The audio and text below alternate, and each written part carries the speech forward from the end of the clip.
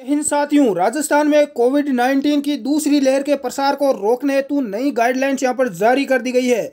आपको बता दें कि राजस्थान के अंदर यहाँ पर पूर्णतः यहाँ पर लॉकडाउन यहाँ पर यानी कर्फ्यू रहने वाला है। आपको बता दें कि शाम को छः बजे से लेकर मॉर्निंग में छः बजे तक राजस्थान में नाइट में पूर्णतः यहाँ पर कर्फ्यू लगा रहेगा।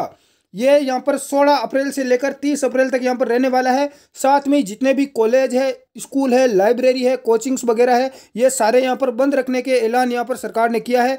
कॉलेज यहाँ पर स्कूल वगैरह की जो परीक्षा है, उसको भी स्थगित यहाँ पर कर दिया गया है। शादी विवाह में यहाँ पर आपको बता दें कि पचास से ज़्यादा कोई भी व्यक्ति यहाँ पर भीड़ यहाँ पर इकट्ठी नहीं हो सकती, पचास से ज़्यादा व्यक्ति एकत्रित नहीं हो सकते हैं।